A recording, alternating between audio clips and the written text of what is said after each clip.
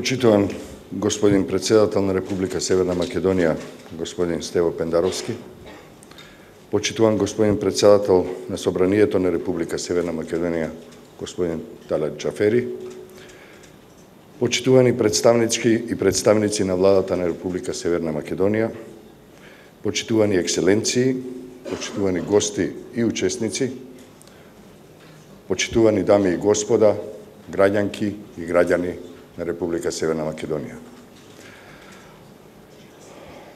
Пред точно една година, во 3 часот и 59 минути наутро, во Мугрите,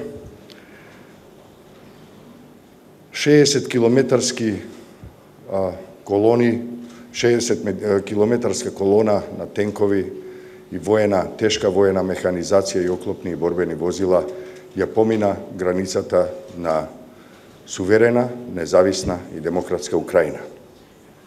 Една година подоцна се наоѓаме тука.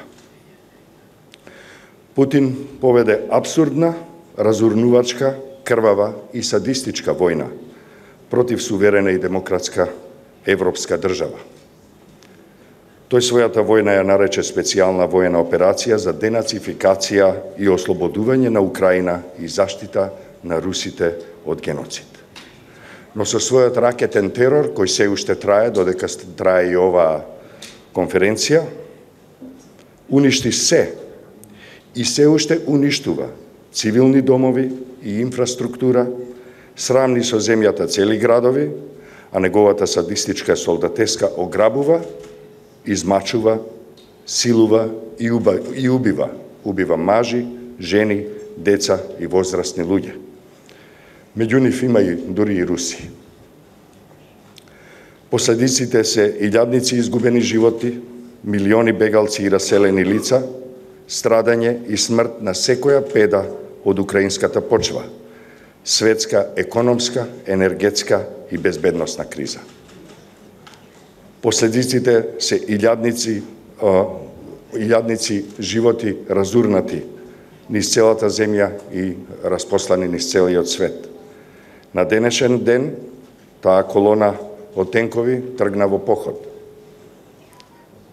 Тоа требаше да биде неколкудневна прошетка по која Украина требаше да падне под руска чизма. Но Украина стои, демократијата стои, борбата за слобода продолжува по цена на неизмерни жртви. Затоа, во име на цивил, како организација која е дел од организаторите на ова на овој на овој настан, би сакал да ве поканам на една минута молк од чест на загинете.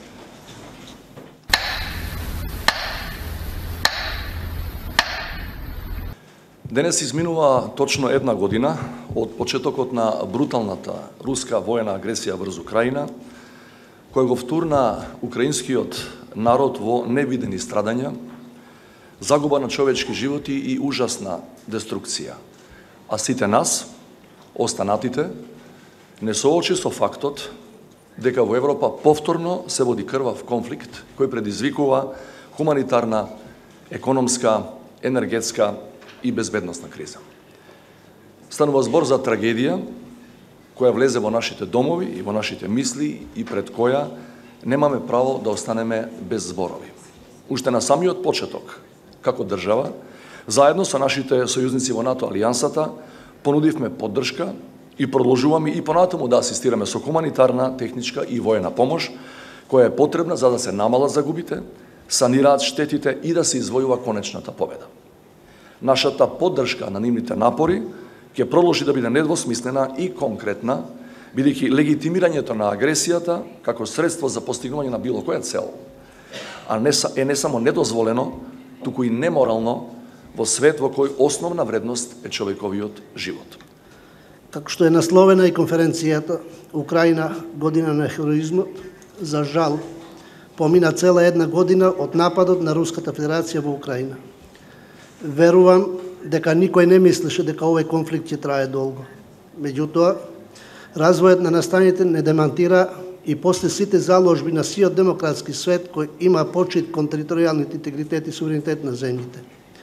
Свет кој ги признава меѓународно признатите државни граници и ги почитува истите. Затоа сите заедно, онолку колку што можеме, онака како што можеме, даваме поддршка за Украина и украинскиот народ. Верувам дека ниту еден конфликт, ниту една одбрана немала подобро организирана воена, морална и секаква друга подршка, дури и вербална, глобално. При тоа, покрај ангажираната воена помош со технолошки напредна софистицирана опрема, мислам и на посетите на исклучително високите и влијателни државници кои ја посетија Украина. Реализираа средби со украинскиот председател Зеленски, со председателот на Врховната Рада Стефан Чук и други раководни структури. Јас сум прв председател на собранието од регионот кој што отиде во Украина за лично и институционално да ја изразам поддршката на украинск... за украинскиот народ и институции.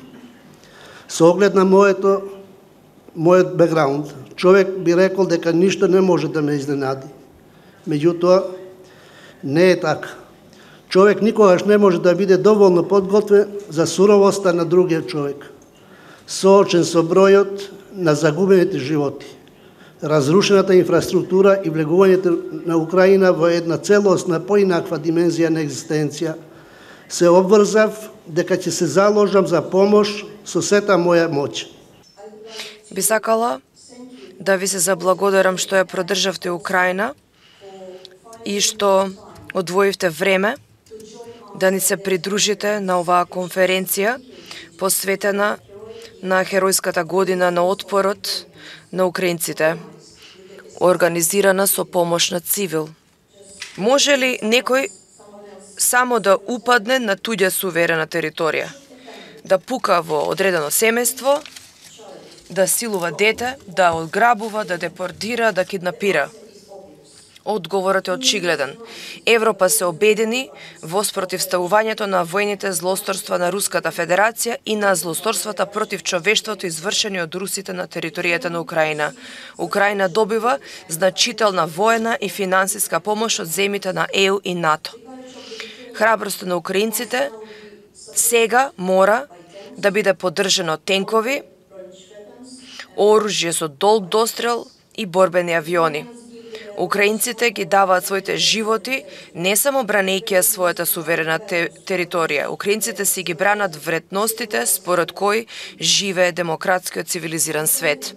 Духот на украинските граѓани и поддршката на земите од ЕУ и НАТО и овозможија на Украина да ја одржи работата на сите гранки на власта. Повеќе поддршка сега значи побрза победа и мир. Помина точно една година од најавувањето на руската воена агресија врз Украина и огласувањето на сирените за воздушен напад во главниот град на Украина Киев. Рускиот напад на Украина е напад на европските вредности. И затоа ние, како македонци и како Република Северна Македонија, ни беше многу едноставно да направиме морален избор да застанеме на страната на Украина и да бидеме меѓу првите, дури и пред некои држави членки на Европската Унија, кои што 100% се усогласивме со надворешната политика на Европската Унија и ги воведовме санкциите кон Русија не само како наша должност како држава кандидат и како најнова членка на НАТО, туку и како морална обврска и морален избор за одбрана на европските вредности и на демократскиот свет. 24 февруари 2023 година. Една година подоцна. Што одбележуваме денес? Слободно ќе кажам.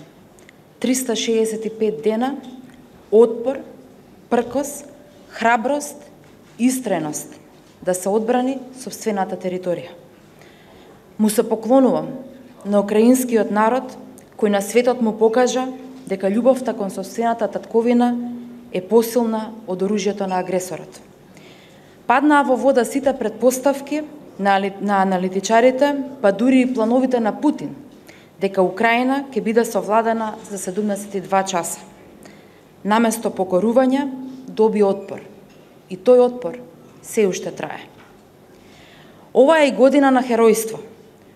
во која украинскиот народ против целата целосната руска инвазија на Украина покажа што може за својата татковина, но и година на единство и сојузништво на европскиот континент. Путин направи две големи стратешки грешки. Прва, целосно ја подцени решителноста на Украина, а второ, го подцени единството на Европа и единството на НАТО алијансата. Северна Македонија, како земја членка на НАТО алијансата, но пред се, како држава која одлуките ги носи самостојно, токму водејќи се од принципите на почитување на меѓународното право, на дело покажа дека е цврсто посветена на поддршката и помошта на Украина. Споредено со нашите капацитети и големина, горда сум што припаѓаме во групата на земји кои силно ја помагаат Украина во нивната праведна одбрана од агресијата. Одговорноста денеска е морален императив, бидејќи е најефективното средство да се избегне ова да не се повтори на друго место, на друга суверена држава и на друг народ. И како што и вчера министерот во Нью Йорк нагласи, цитирам, во еден момент оваа војна ќе заврши и ќе се обнови инфраструктурата, ќе се обноват и куќите, но жртвите на оваа агресија заслужуваат повеќе и заслужуваат правда. И човештвото заслужува подсврста и закотвена основа за избегнување на агресивни војни во иднина. Одговорноста не е цел сама по себе, но тоа е необходна алатка за обезбедување на мир, стабилност и безбедност ширум светот. Горди сме на нашите украински пријатели во истрајноста да ја одбранат својата земја и принципите на демократијата и слободата. Истовремено, целата меѓународна заедница мора да остане обедината и посветена на, на, на овие страшни злосторства против украинскиот народ да бидат соодветно и правично процесуирани, а извршителите да одговараат пред лицето на правдата.